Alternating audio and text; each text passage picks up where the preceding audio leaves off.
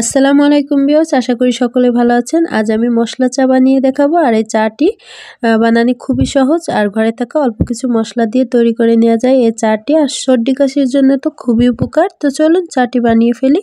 তো এর জন্য আমাদের লাগছে আদা কুচি, এক চা চামচ, একটা লাগছে দারচিনি এবং দুটা এলাচ, সাথে চারটা নিয়েছি লং এবং দুই চা চামচ নিয়েছি চিনি, একটা তেজপাতা নিয়ে এবার আমি পানি দিয়ে দিচ্ছি চুলায় দুই কাপ।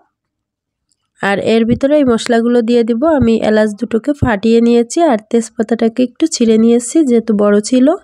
এবার সব মশলাগুলো এই দুই কাপ পানির মধ্যে দিয়ে আমি ঢাকনা দিয়ে জাল করে নিচ্ছি আর পানিটা অনেকটা ফুটে অর্ধেকের কাছাকাছি যখন চলে আসবে, তখন আমি এর ভিতরে চা পাতি দিয়ে দিব।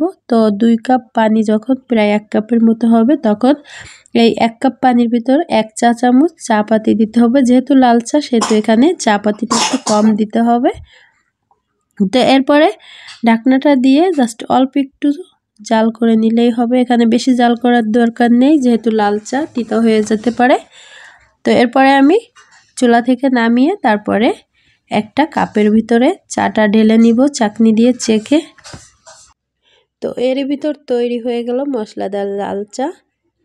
তো বন্ধুরা, আমার রেসিপি আপনাদের ভালো লাগলে চ্যানেলটি সাবস্ক্রাইব করে পাশে থাকবেন ও ভালো মন্দ মতামত থাকলে কমেন্টে জানাবেন। তো ভালো থাকবেন, সুস্থ থাকবেন, আল্লাহ হাফেজ।